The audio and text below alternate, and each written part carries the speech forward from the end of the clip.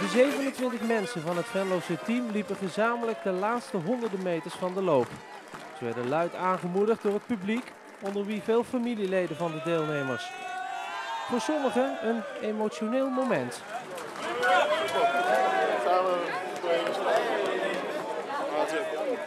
Ja, ik ben uh, afgelopen jaar uh, collega verloren aan, uh, aan kanker.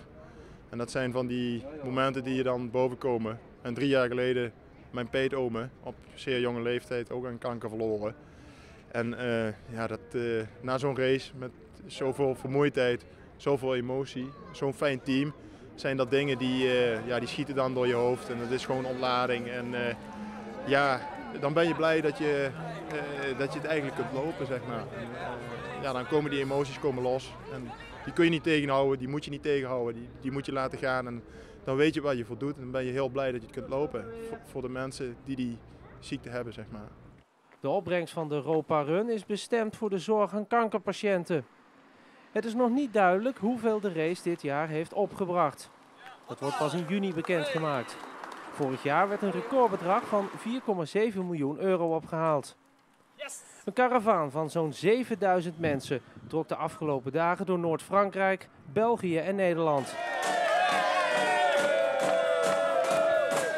For Life, een van de 275 deelnemende teams, had net als de meeste teams acht lopers.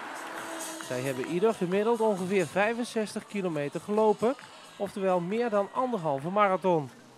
Daarnaast bestaat een team uit fietsers en een aantal mensen in de begeleiding, zoals chauffeurs, verzorgers, cateraars en wegkapiteins. Eén loper moest afhaken en werd onderweg vervangen door de reserveloper. Teammanager Sander Kuik kijkt tevreden terug op de Europa Run 2010. Ja, leuk, heerlijk. Hoor. Lekker hè? Ja. Het team heeft fantastisch gepresteerd. Ondanks de warmte enorm goed gelopen. We hebben geen enkel probleem gehad. Twee lekke banden, dat is dan uh, ingecalculeerd. Maar ja, voor de rest ging het gewoon super. Uh, alle plaatsen waren goed, alle wisselingen waren goed. Uh, er was rust in het team.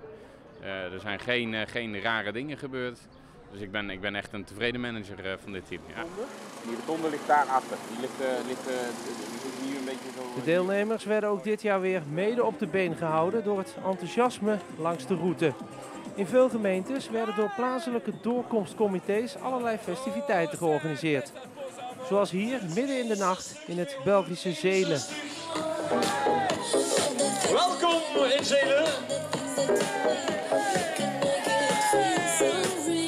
Omroep Venlo zendt binnenkort een uitgebreid verslag uit van de deelname van Venlo for Life aan de Europa Run.